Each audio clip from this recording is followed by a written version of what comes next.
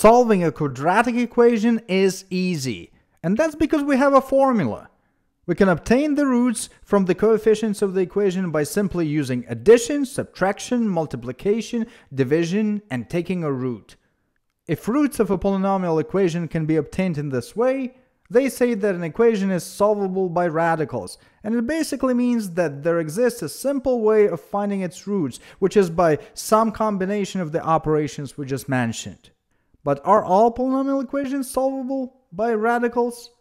Does a similar formula exist for equations of higher degree? Today we'll answer this question using one of the most amazing and quite sophisticated methods in mathematics known as Galois theory. But first, let's talk about numbers. If we only consider equations with rational numbers as coefficients, the roots will quickly get us outside of this basic set. So the roots of a simple equation x squared minus 2 equals 0 are irrational numbers, square root of 2 and minus square root of 2. Let's append these two roots to the set of all rational numbers. But before we move on, let's get back to rational numbers just one more time. Rational numbers have one amazing property. When we add, subtract, multiply or divide two rational numbers, with the only exception of division by zero, we still get a rational number.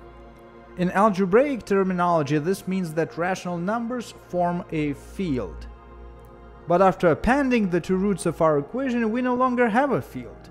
For instance, adding 1 and square root of 2 already gets us outside of our set.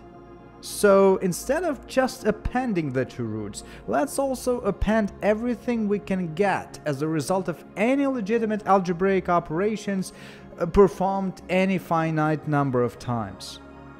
And now we got ourselves a field. We extended the field of rational numbers with the help of square root of 2 and minus square root of 2. But it's easy to see that it was enough to only use square root of 2 because minus square root of 2 can be obtained by multiplying square root of 2 by minus 1. This new field, by the way, consists of all numbers of the following form, where x and y can be any rational numbers.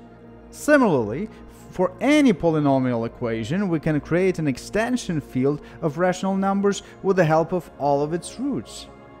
But let's get back to our previous example and see what happens if in this extended field we switch the roots around. So let's pick some element from our field and in it we will replace square root of 2 with minus square root of 2. Similarly, instead of this number, we would have this one. This mapping certainly shuffles numbers around within our field, but something important remains unchanged. First of all, Notice that all rational numbers are not affected by this transformation. But there is more. Let's give this mapping a name. Let's use some fancy Greek letter for that. Phi. So we can rewrite our expressions as follows. It's very easy to check by simply performing the required arithmetic operations that for any two numbers a and b from our field, phi of a plus b equals phi of a plus phi of b. In other words, phi preserves addition, but it also preserves subtraction, multiplication, and division. If we now take an arbitrary number, x plus square root of 2y, from our field and look at x and y as coordinates on the plane, then applying phi acts as a mirror reflection over the x-axis, a kind of a symmetry. But what if we applied symmetry phi twice to our field. A number would reflect off of the x-axis once, and then one more time, basically bringing it back to where it was. So applying phi twice in a row acts as a trivial transformation, which is also a symmetry. It only doesn't rearrange anything in our field. It just keeps everything in its place. Technically, any two symmetries phi and lambda of a given equation can be applied sequentially, and the result will be another symmetry that we denote as follows. Applying the symmetry and then the other looks like an operation over symmetries. We use the little circle there and it looks a lot like some sort of multiplication. As a matter of fact, the symmetry that does not change anything in the field acts as an identity element among symmetries and is often denoted as epsilon and acts precisely like 1 when multiplying numbers. Also, no matter what a symmetry is, by performing it backwards, we get an inverse symmetry. In our prior example of equation x squared minus 2 equals 0, element phi that was switching the two roots is actually inverse to itself, because phi multiplied by phi gives us a trivial symmetry, epsilon. All symmetries of a given equation are called the Galois group of that equation. And solvability of an equation by radicals is tightly connected to properties of the equation's Galois group. And that's what we are about to uncover further. Our simple example of equation x squared minus 2 equals 0 gave us a two-element group that consists of epsilon, the trivial symmetry, and phi, the symmetry that switches the two roots and can be thought of as a mirror reflection or just turning the set by 180 degrees. Using this analogy, we can say that an equation x to the 7th minus 2 equals 0 will have seven roots and will have Galois group of seven elements that can be thought of as rotations of a heptagon.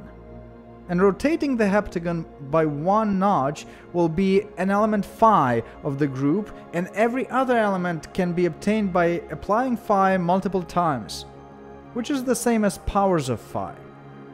This equation, by the way, solved by radicals because all we need is to take 7th root of 2, and just like in the previous equation, we got square root of 2 and minus square root of 2 as the solutions. Here we have 7, generally speaking, complex numbers of a slightly more complicated form, but we don't really care. All we care about is that solving the equation requires obtaining a 7th root of 2 of a number, and that is something we know how to do. So this is a good Galois group. Good in a sense that the corresponding equation is solvable by radicals. Groups like this one are called cyclic as you can cycle uh, through all the symmetries in the entire group by applying just one symmetry over and over again. But to be good, Galois group doesn't necessarily have to be cyclic. It can be composed of multiple different cyclic groups, just like a combination lock is composed of multiple dials with digits. So the following equation can be rewritten as follows and we again know how to solve it. We just need to solve each of the component equations x to the 7th minus 1 equals 0 and x to the 5th minus 1 equals 0 and we know how to do that by calculating 7th and 5th roots respectively. The Galois group for this 12th degree equation will look like a combination lock with two dials with 7 and 5 digits. This is no longer a cyclic group but it still has one important property that cyclic groups have. For any two symmetries phi and lambda of such a group, applying phi and then lambda is the same as applying lambda and then phi. Wait, what? Now, this might sound weird, but this is where our so-called multiplication of symmetries differs from multiplication of numbers. When multiplying numbers, Order doesn't matter. But with symmetries, or more generically with transformations, it may. Here's a little analogy that will help you understand this concept better. Imagine that we are transforming the look of a person. Let's say we have two transformations phi, putting on a watch, and lambda, putting on shoes. If we apply phi and then lambda, this is what we get. Now, let's apply these two transformations in the opposite order. We apply lambda and then we apply phi and this is what we get, which is exact same result. So in this case we say that phi multiplied by lambda is the same as lambda multiplied by phi. But let's now consider a slightly different pair of transformations. Psi putting on underwear and eta putting on trousers. Applying psi and then eta gives us, roughly speaking, a very conventional outcome. But applying transformation eta and then psi produces a noticeably different result. FYI, when multiplication order doesn't matter, a group is called abelian, named after prominent Norwegian mathematician Niels Abel. And guess what? When the order does matter, we call the group non-abelian. So then cyclic groups are not the only good ones. Abelian groups are also good because an equation with an abelian Galois group is solvable by radicals. Now, our abelian groups have an interesting property. Let's pick one such group from the previous example. We can say that this group can be achieved by extending one cyclic group, say this one, with another cyclic group. And even if our abelian group was bigger and the corresponding combination lock had more dials, the group can be achieved as a sequence of similar extensions. We start with a cyclic group and extend it with another cyclic one. Then the result of it is again extended with a cyclic group. The result of that extension, in turn, is again extended with a cyclic group and so on. Every time we extend with a cyclic group, basically attaching a dial at a time to our combination lock. But the combination lock approach is not the only way to extend one group with another. Let's take one dial with 6 digits on it, but this time allow to not only rotate it as before, but also flip it, like so. This group is also an example of extending one cyclic group with another cyclic group, more specifically a group with 6 elements with a group of 2 elements. But the result will be a non-abelian group because performing a simple rotation and then flipping gives us a different result than flipping first and then rotating. And by the way, this particular group is a Galois group for the following equation. Every time we can obtain our Galois group as a sequence of extensions by cyclic groups, the equation will be solvable by radicals. And it doesn't matter how we extend it whether using a combination lock approach or by flipping a polygon or even in some completely different way. This type of groups was subsequently named solvable to reflect the fact that the corresponding equation is solvable by radicals. But are all Galois groups solvable? In other words, can any Galois group be obtained as a series of cyclic extensions? The answer is no. If you consider this equation, its Galois group is the group of all possible permutations of the equation's five roots and is usually denoted as S5.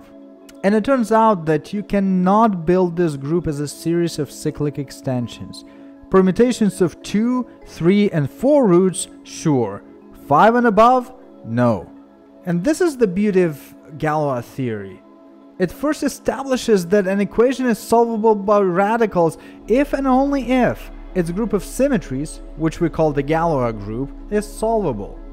This is a military maneuver of taking the battle to the turf where you have a greater chance to win, and once you did, you deal with groups and not with polynomials anymore. And here we can prove, for instance, that the group of all permutations of 5, 6 or more roots is non-solvable, and the immediate implication of that is that the corresponding equations are not solvable by radicals either. So the general answer is, only equations of degree lower than 5 are all solvable by radicals. But starting with 5 and above, there are equations that do not have a formula in radicals. Galois theory that rests on the great work of Ruffini, Lagrange, Abel, and then ultimately Évariste Galois is one of the roots of the broad and powerful branch of mathematics known today as group theory, with applications in chemistry, material science, physics, cryptography, and other domains. The idea that instead of studying some objects directly, we may study their symmetries, and then from there much easier obtain some properties of the objects themselves, is a very powerful idea, and it's amazing that Galois Group was one of the earliest examples of that greatness of human thought. Thank you for watching. If you find this video helpful, please hit the like button, share it with friends, and subscribe to my channel.